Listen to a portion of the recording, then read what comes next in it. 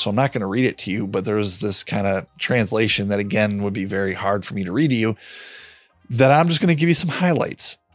That he talks about his very, very inhumane treatment while he was in a Moroccan prison. And he said it was so inhumane that he ate off of plates on the floor. And he also pooped into holes that were in the floor. And I thought, what a fucking odd game of prison cornhole is this, where you're pooping into, holes?